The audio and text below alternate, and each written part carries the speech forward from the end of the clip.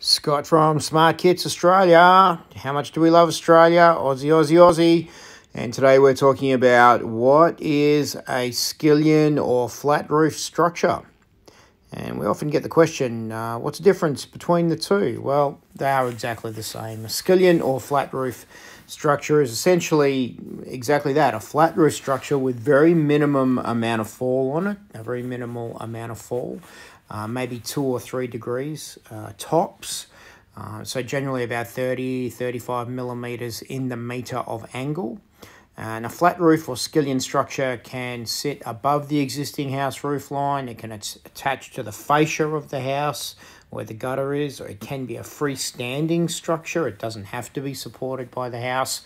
And we can use a simple skillion or flat roof in a multitude of applications as freestanding uh, structures or as a roof over, a, over a deck, for example. Uh, multiple flat or skillion roofs attached to the side of a house like this one. And we can also create hips or valley ends on a house. Uh, large carports, fantastic for carports, fantastic for entertaining areas, uh, fantastic for parking those recreational vehicles.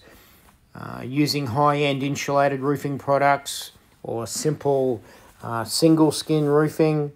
Uh, a, a flat roof or a skillion roof will complement most house designs. You can't really go wrong with this style of roof. And as I said before, you can overlap the existing house roof. That's a flyover design, but it's still a skillion um, or flat roof. Park your uh, caravan underneath it this is an insulated roof sitting above the uh, above the existing roof line. It's a flyover style, but it's still a skillion roof. High end look for a low end price. You don't have to spend a fortune to achieve this kind of result. And that is a skillion flat roof structure.